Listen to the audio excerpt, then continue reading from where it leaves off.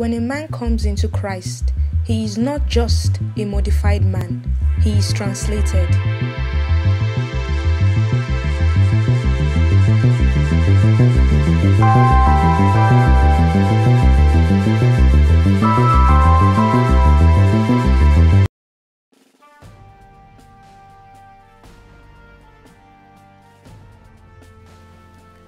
Lost in deep darkness, walking alone in fear through the valley of the shadow of death, my knees weak and feeble, surrounded by darkness.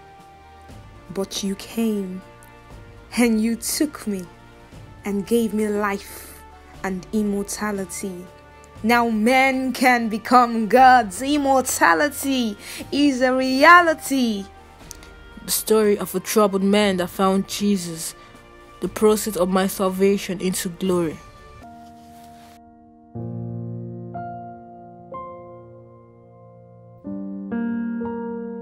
Saved man, being brought into the place where separation is calling, calling you to separate yourself from worldly friends and healthy media communications, movies, musics, and all of that.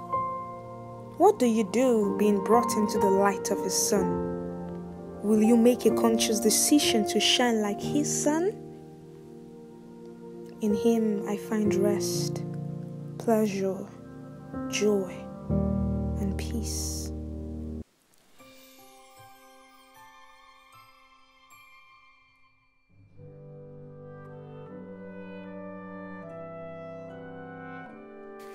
Now I hear the voice of the Spirit still and soft.